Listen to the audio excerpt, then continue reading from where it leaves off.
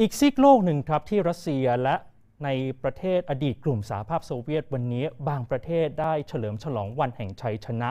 ซึ่งตรงกับวันที่ 9 พฤษภาคมของทุกปีนะครับถือเป็นวันที่ชาวรัสเซียจะร่วมรำลึกถึงชัยชนะของกองทัพสหภาพโซเวียต เหนือกองทัพนาซีเยอรมนีในช่วงสงครามโลกครั้งที่ 2 หรือที่ชาวรัสเซียเรียกว่าเป็นมหาสงครามแห่งความรักชาติครับในขณะที่การแสดงแสนยานุภาพทางการทหารกลายเป็นส่วนหนึ่งของพิธีเฉลิมฉลองในยุคของประธานาธิบดีวลาดิเมียร์ปูติน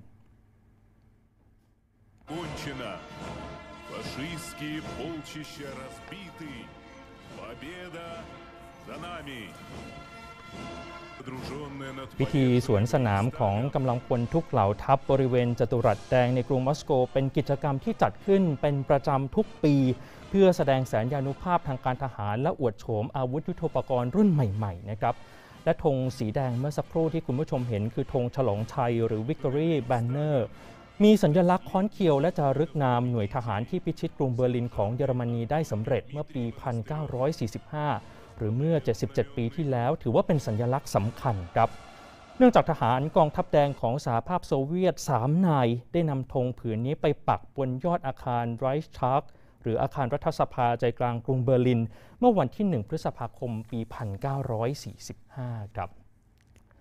ถือว่าเป็นสัญลักษณ์สำคัญมากทีเดียวนะครับและรัสเซียได้กำหนดให้วันนี้เป็นวันสำคัญประจำปี เพื่อรำลึกถึงทหารและพลเรือนกว่า 27 ล้านคนที่เสียชีวิตในสงครามโลกครั้งที่ 2 พิธีสวนสนามจัดขึ้นเป็นครั้งแรกในช่วงทศวรรษที่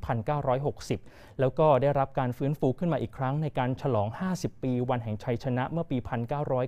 1995 ในสมัยประธานาธิบดีบอริสเยลซินครับขณะที่การนำอาวุธยุทโธปกรณ์มาแสดงในขบวนสวนสนามเริ่มต้นขึ้นตั้งแต่ปี 2008 ในช่วงที่ปูตินดำรงตำแหน่งนายกรัฐมนตรีนะครับ ตลอด 20 ปีใต้เงาของปูตินได้ใช้วันแห่งชัยชนะ สร้างอัตลักษณ์ของรัสเซีย ในฐานะผู้ปลดปล่อยยุโรปให้รอดพ้นจากกองทัพนาซีเยอรมนี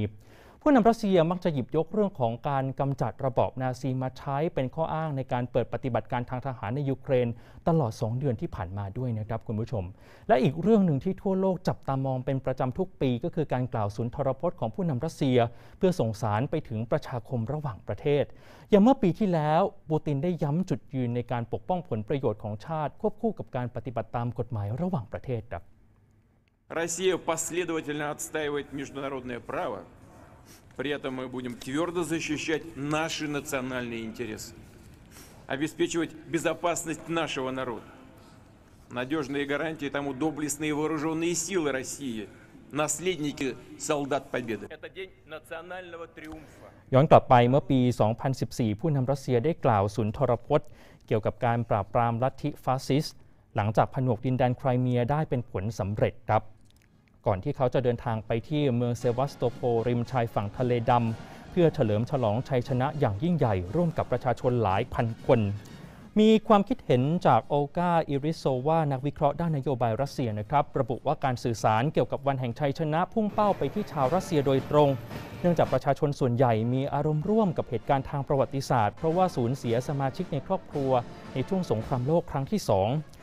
ขณะที่หลายประเทศในกลุ่มอดีตสหภาพโซเวียต เริ่มให้ความสำคัญกับการจัดพิธีเฉลิมฉลองวันแห่งชัยชนะน้อยลงเรื่อยๆ อย่างคาซัคสถานได้ยกเลิกพิธีสวนสนามเป็นปีที่ 3 ติดต่อกันครับ ในขณะที่ลัตเวียก็บอกว่าจะให้วันนี้เป็นวันรำลึกถึงผู้เสียชีวิตจากสงครามในยูเครน